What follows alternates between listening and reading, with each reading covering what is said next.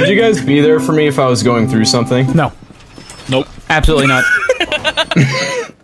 I hope it sucks whatever you're going through. I hope it sucks. What the fuck?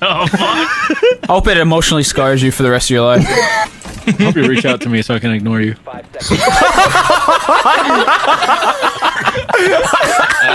I can't wait to go to your funeral knowing that I could have changed that outcome.